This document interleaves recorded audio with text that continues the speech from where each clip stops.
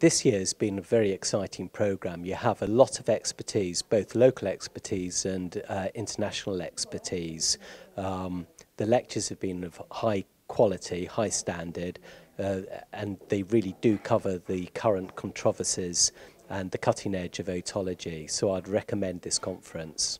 I've really enjoyed my time. The conference has been so well organised. Dubai is a fantastic city. Everybody's really welcoming.